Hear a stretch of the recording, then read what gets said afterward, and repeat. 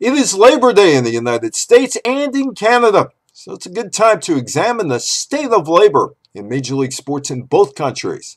Specifically, Major League Baseball, the National Football League, the National Hockey League, the National Basketball Association, and Major League Soccer. Two collective bargaining agreements were reached in 2016. Major League Baseball owners and players signed a deal following the completion of the final game of the World Series.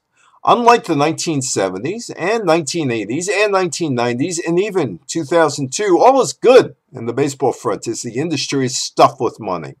The various deals that brought revenue sharing to the 30 teams works for the owners and the players. That's why there has been labor peace since 1995. A new National Basketball Association agreement between the players and the owners was also signed. NBA players are pulling down incredible sums of money.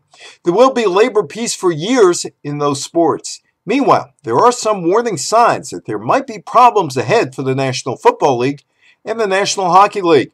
The NFLPA is warning about sports labor strife and is urging NFL players to start saving their money for a lockout. A lockout that might occur in 2021, which means there are four seasons left on the CBA, and most players in the league that are playing right now won't be around for that labor battle. To put it in perspective, a high school senior playing football this year could be impacted.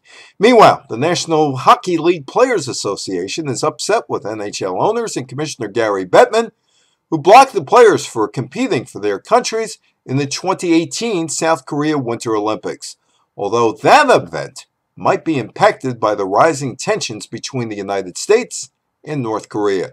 The present NHL deal ends in 2022.